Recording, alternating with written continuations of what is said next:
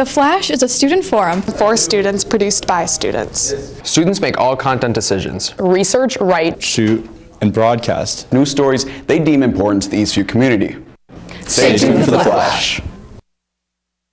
Hey Eastview, I'm Olivia. And I'm Sydney. Today we have three great stories for you. Stay, Stay tuned for the Flash.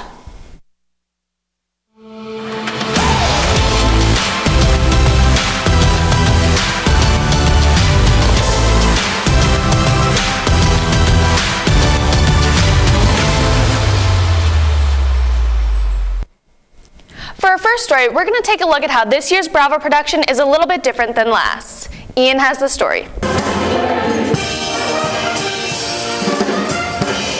For most of our students, this is kind of the first big kind of musical production. In a spring Bravo, a lot of our students will have been in the musical, and that actually prepares them for Bravo. Bravo in the spring, you know, everything just kind of feels more refined. We've had four shows before this under our belts and, and that shows. Because Winter Bravo occurs in the middle of the year, some students find themselves having mixed emotions. I do wish it was switched around because I feel like I perform better in Bravos than I do in musicals. You know, of course it's my senior year and I do wish I could kind of have that closure experience with Bravo and really tie it together. So it does kind of make me sad that I can't do it. Sad and unfortunate. But Bravo, like any other show, opens up new paths and experiences for new faces. There's definitely an extra bunch of people that join because it's in the winter rather than being in the spring. Yeah. I think it's worth keeping the tradition of Winter Bravo every four years um, because I know there's a lot of people like me who have an activity in the spring and weren't able to like fully participate. Bravo's a high energy show and uh, so it's exciting to watch, it's exciting to listen to. Our jazz band is awesome, our dancers are amazing, our singers are so talented and uh, I would strongly encourage everybody to come. Signing off for the Flash. This is Ian. Bravo will be showing throughout the next two weekends, and it's selling out fast. Make sure to get your tickets for our next story, we're going to take a look at how one Eastview student gets to school a little bit differently than the rest, and how those plans might need to change due to the upcoming weather. Tyler has a story. It's about that time of year when driving becomes more and more difficult. Some students, however, like Javen Bowman, opt for a more hydraulic form of transport. Uh, I got my motorcycle about uh, two years ago. I was like, okay, mom, can I, can we go, can I go get this bike? And she's like, oh, I don't, I don't know what to see and I was like, Mom, I, I need it. I need it so bad. She's like, fine, I'll trust you'll make the right decision. And uh, I think I did. Kind of exciting. The guy was a little bit crazy and uh, it, the bike didn't have a title and it wasn't legal and it was super sketchy, but it was super funny. Even sketchier are these icy roads. So what is a motorcyclist to do during this time?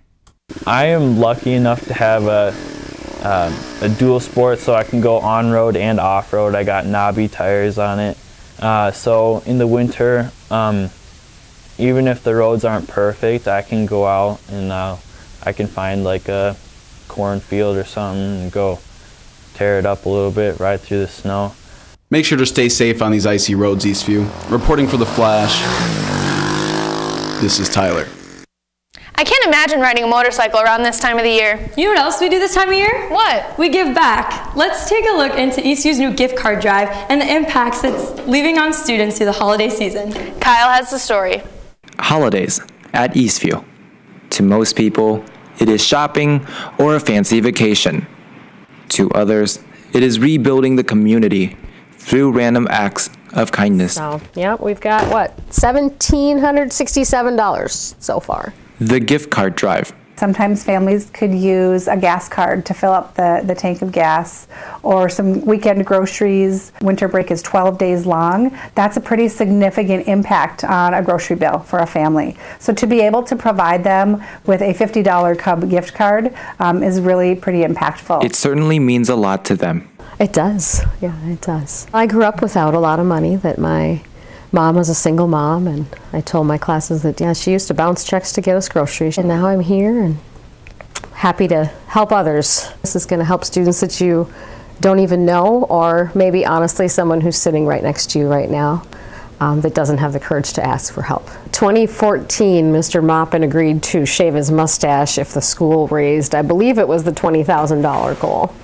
So yes, that was our year of the ramen noodle war, where one class brought in 1,054 packages of ramen noodles at the last minute. A random act of kindness. It's something that families, students and families don't necessarily expect from their school, and so it's one of the things I think that makes Eastview, the Eastview community really unique and special. Your $10 gift card might just make a family's winter a little more cozier. Kyle Hoang, The Flash. Make sure if you have any gift cards to hand them in by the end of the day because it is the last day to hand them in. Hey Sid, is it time to go yet? I really hope it is because I really got to get home and get caught up on The Office. Well, maybe you can right now. Stay, Stay tuned, tuned for, for the credits.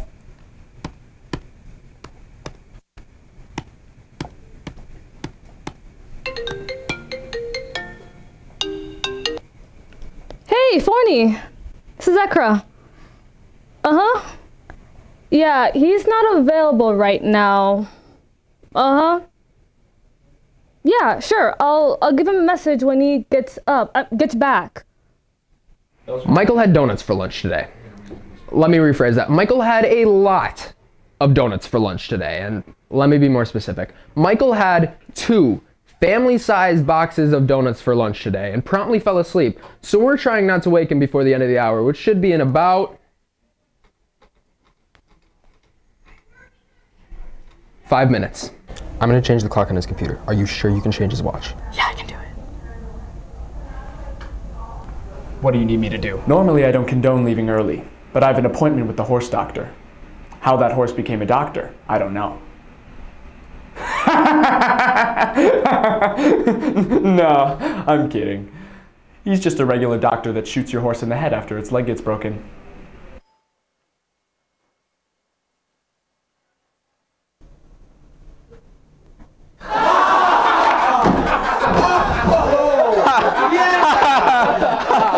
What's so funny? Ah, geography joke. I like it. Oh, geez. We're out of time. All right, guys. I'll see you all tomorrow. Bye, Michael. yeah.